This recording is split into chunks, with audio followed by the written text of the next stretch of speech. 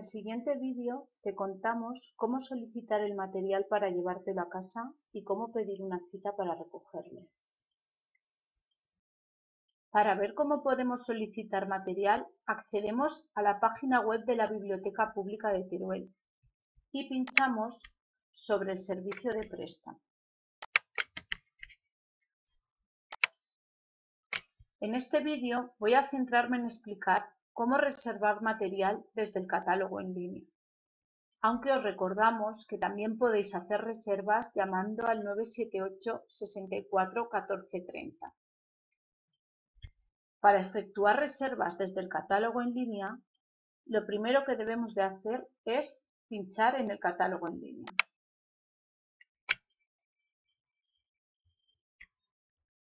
Una vez que ya hemos accedido al catálogo en línea, debemos iniciar sesión introduciendo el número de lector o correo electrónico y la contraseña. Os recordamos que el número de lector es el que aparece en el carnet de la biblioteca y la contraseña es la que te proporcionaron el día en el que te hiciste el carnet. De todos modos, si no recuerdas tu contraseña, puedes pinchar en ¿Has olvidado tu contraseña?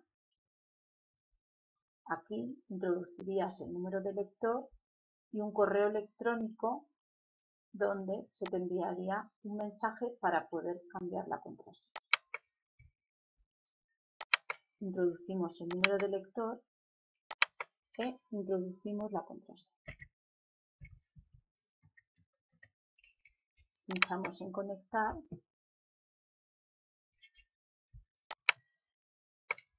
y ya aparece nuestra sesión iniciada.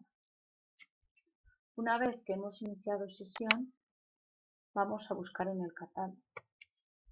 Por ejemplo, vamos a buscar en el catálogo si está el libro El lector de Julio Verne.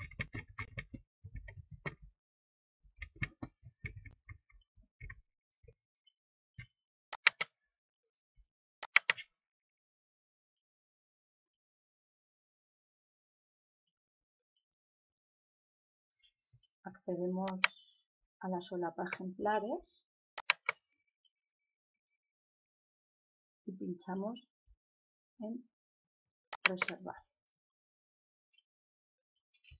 Vemos que nos pone que está disponible, con lo cual pinchamos en solicitar y volvemos a pinchar en aceptar.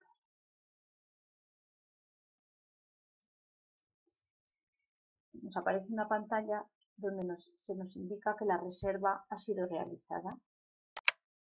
Si una vez que hemos realizado la reserva queremos comprobar si lo hemos hecho correctamente, accedemos a la parte de arriba de la pantalla con nuestra sesión iniciada y vamos a mi biblioteca. Aquí observamos que tiene una reserva. Si bajamos un poquito más abajo, vemos que nos aparece la reserva que tenemos realizada. Una vez hayas reservado los materiales que te quieres llevar a casa, nos pondremos en contacto para acordar una cita de recogida.